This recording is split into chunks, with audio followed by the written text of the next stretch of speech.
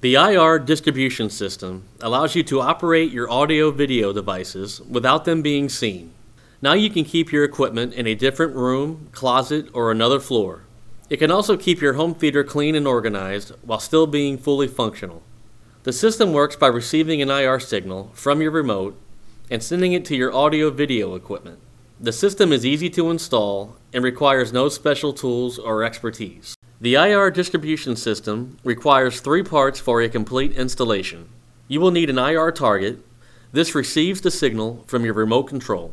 You'll also need an IR distribution hub. This is the central hub for all emitters and routes the signal to the emitters. This sends an IR signal to your device to change the channel, volume, etc. You need one emitter for each component in your system. Let's install the kit. First, mount the IR target. Typically, we recommend mounting the target on the TV itself or on the wall above or below the TV. Next, you will need to find a place for the IR hub. This needs to be close to the video source equipment.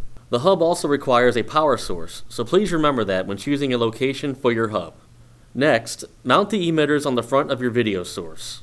Use the supplied two-sided tape to adhere it to your device.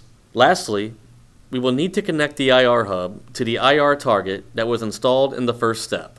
The IR target has four wires white, which will run to the IR input on the hub, brown, which will run to the ST input, black, which is the ground and will run to the G input, and red, which is positive and will run to the V plus input.